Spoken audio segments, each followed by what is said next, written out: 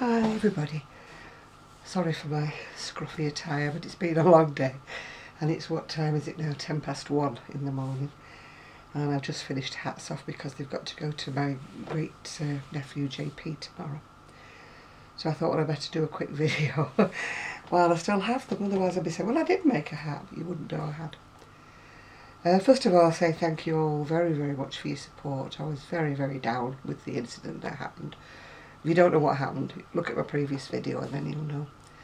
And I was just overwhelmed with all your show of support for me. It did help an awful lot, so thank you all very much for that.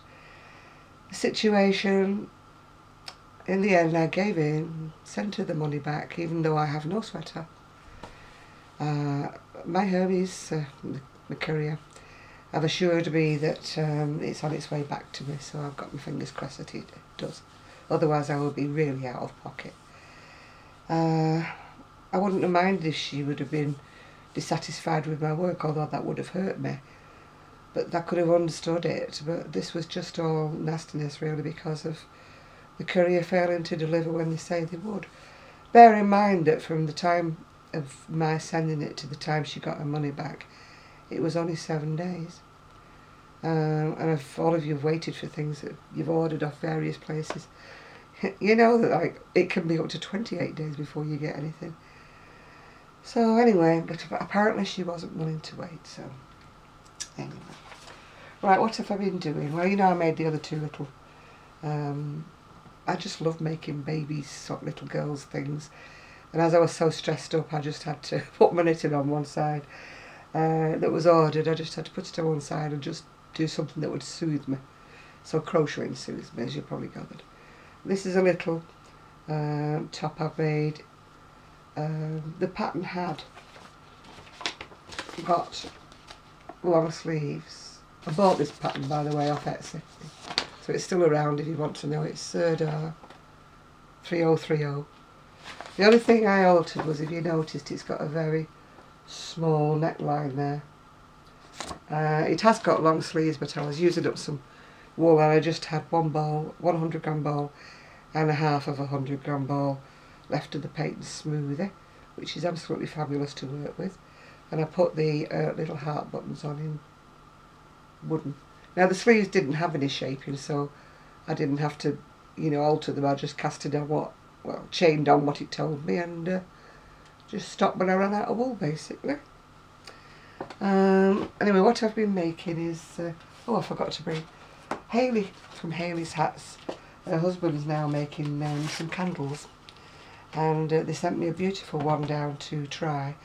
Um, it's Fold House, or oh, I'll put a link to it anyway underneath in the um, the box underneath the video because I can't remember its exact name. But they're beautiful little homemade soy candles that he's made and mine's um, I asked for was uh, uh, baby powder I think it's called, yeah baby powder. It's a very very light fragrance the baby powder, it's not one of those in your face the minute you light it. It's very delicately flavoured. Flavoured? Scented. I've got to eat the damn thing, am I? Um, I'd asked Haylee to make um, a hat for JP because I can't do animals, can't do faces. My face is always finished up like that, I can't do them. Anyway, this is beautiful hat she's made me. And what I like about Haylee's hats is she fleece lines every one of them. So if you live somewhere really cold or your child's a bit sensitive to anything and it likes a nice soft lining on anything like that. And she makes all different kinds. You don't have to have a fox hat. If you look on her um, Haylee's hats, that's H-A-Y-L-E-E-S, Haylee's hats. If you look on her page, then you'll see all kinds of different hats that you can order from her. that's Mr. Fox.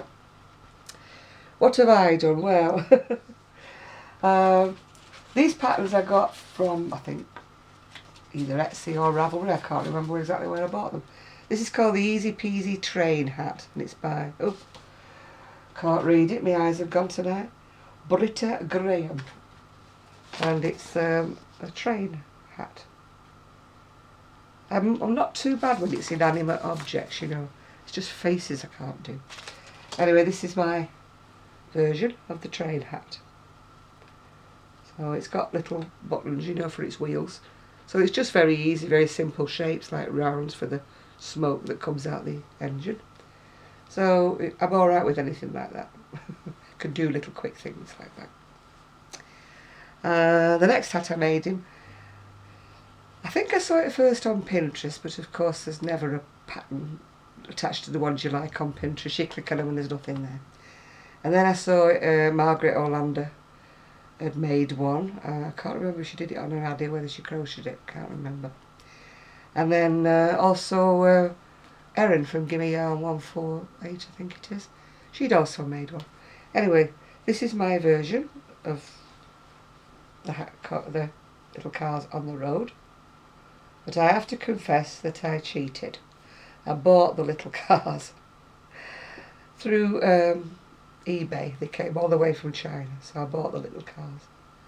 So it was an easy peasy hat for me to do because I just did the basic hat, made it like a roadway and sewed on the ready-made cars. They weren't too uh, expensive either if you spot them. I'm sure they've got more, but they do take a long time to come. Well, a while to come because they come from Hong Kong. And the last one I made is uh, another pattern. I can't remember where I bought it from. It's called Fire Engine Pom Pom Hat. It goes from one to ten years. And uh, I may have bought it on uh, Etsy or I may have bought it on Ravelry, I can't remember. Or it may even have been a free pattern. I'm not too sure about that one. And um, that's my my attempt at a fire engine. It's not looking very fire engine but I've got a wonky looking door and uh, never mind. Anyway, He's only two, so he won't notice it's a bit wonky, my fire engine. This is one reason why I don't do hats, you know, with things on the front. I much prefer to do an adult hat where you don't have to put any of this on. Oh dear, so that's his hats done. He's got the four hats now, so he's got it done. Um, I got a book. Um, I'm a bit wary now about doing um, reviews because I told you that I got this strange email from uh, Facebook saying did I own the copyright to what I was putting on the uh, videos. So, I mean, I can't see that anybody's complained because most people, when I do a book review, you know, the author or whoever, usually thanks me for doing them because inevitably it leads to more sales. Anyway, this one is Crochet Wraps Every Which Way. It's by Tammy Hildebrand, or Hildebrand and it's um, which isn't really what I thought. I didn't really study the book uh, before I ordered it. I usually pre-ordered them off Amazon, and when I come to look at it, it's got 18 original patterns, but six different techniques. Um, I can show you the little pictures because I'm not giving anything away there. There's like um, broomstick lace, Tunisian. Uh, what else is there? Oh, hairpin ordinary lace and the um, you know the motif lace. And then that's oops can't open it. That's the rest of the ones that are in there. So I more or less stupidly assumed that they would all be ordinarily ordinary crochet.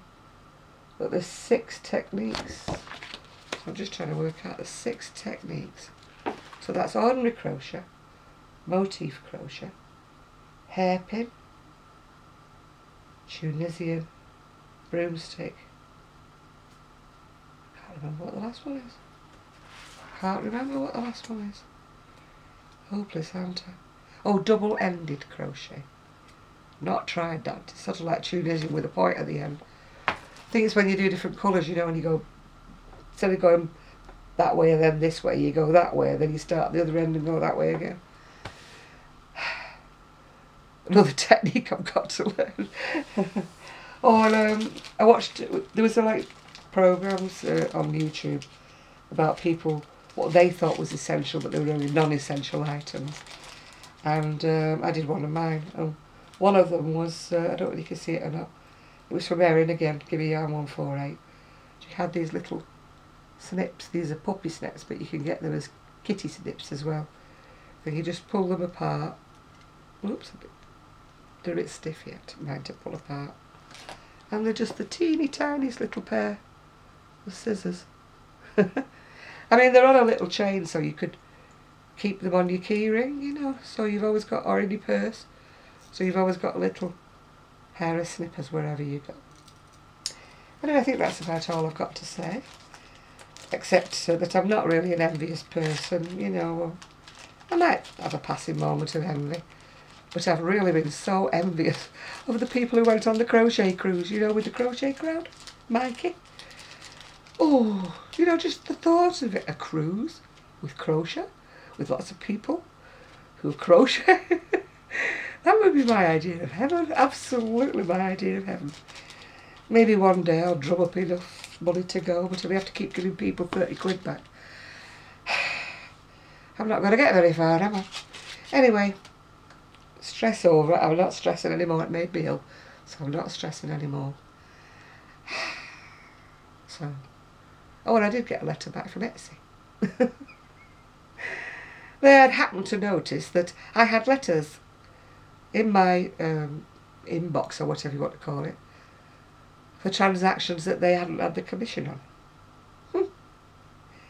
was I was I violating their um, policies? Well, I do sell things through Facebook. I sell things through craft shops to other places. So you know, I didn't realise that I was supposed to give them the fees and the rights to something that I hadn't actually crocheted and sold through them. yeah, somebody might have contacted me. I can't remember if she contacted me through them or oh, she contacted me through Facebook, but Apparently, I'm not supposed to do that. I'm supposed to put them for sale through Etsy so they can have their commission as well. Do you ever feel like you're pedaling one bit forward and three bits back and, you know, I just feel like the world's been against me this week. It's not been a good week. And then the little dog across the road that walks with the dog walker with my uh, dog got savaged today. Um, by a dog off its lead that came dashing out of a house further down the road from me and bit it and threw it around. It was only a chihuahua, so I bit it and threw it around like a rag doll. So the poor little thing is traumatised completely. Fortunately, it's just had stitches in either side of its little body. And it's had x-rays and there's no internal injuries, thank God for that.